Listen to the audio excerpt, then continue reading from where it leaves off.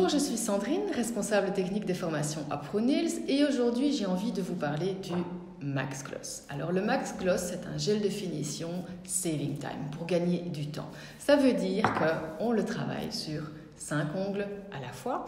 Si vous avez peur que le gel coule un petit peu dans les cuticules, vous pouvez le travailler 4 ongles à la fois et le pouce à part. Au niveau des temps de catalysation, la catalysation dans la lampe de light est de 60 secondes. La catalysation pour la smart light est de 30 secondes full.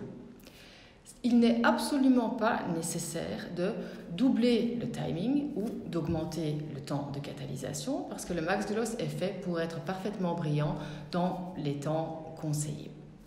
Si toutefois vous allez catalyser le gel plus longtemps ou vous allez le travailler ongle par ongle, il se peut que votre cliente par la suite rencontre des problèmes de jaunissement et votre cliente ne sera pas contente. Alors si vous voulez des clientes heureuses, restez avec les temps de catalysation recommandés pour les lampes. De plus, n'oubliez pas, le Max Gloss a une couche collante après catalysation et cette couche collante, on l'enlève avec le dissolvant sans acétone et n'oubliez pas d'utiliser suffisamment de produits. Voilà, c'était un petit peu les do's and don'ts de l'application du Max Gloss. J'espère que vous avez euh, apprécié ceci. Je vous souhaite beaucoup de succès avec le Max Gloss et à très bientôt.